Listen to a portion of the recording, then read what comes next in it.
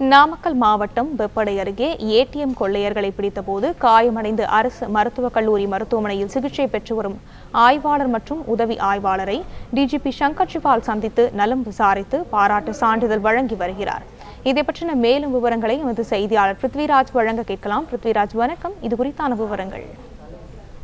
கேரள மாநிலம் திருச்சூரில் மூன்று ஏடிஎம்களை கொள்ளையடித்துவிட்டு container lorry மூலம் ஏழு வடமாநில இலை மாநில கொள்ளையர்கள் தப்பிச் செல்ல முயன்ற போது நாமக்கல் மாவட்ட போலீசார் சுற்றி வளைத்து பிடித்தனர்.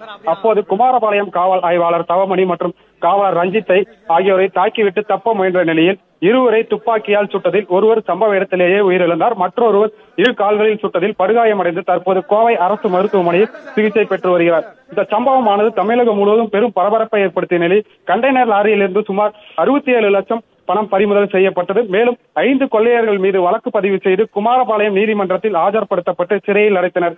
இந்த நிலையில் கொள்ளையர்கள் தாக்கியதில் குமாரபாளையம் காவல் ஆய்வாளர் தவமணி மார்பு பகுதியில் படுகாயமடைந்த நிலையில் காவலர் ரஞ்சித்துக்கு கைகளில் பலத்த காயம் ஏற்பட்டது. காவலர்கள் இருவரும் தற்போது சிகிச்சைக்காக நாமக்கல் அரசு மருத்துவமனை மருத்துவக் கல்லூரியில் அனுமதிக்கப்பட்டுள்ளனர்.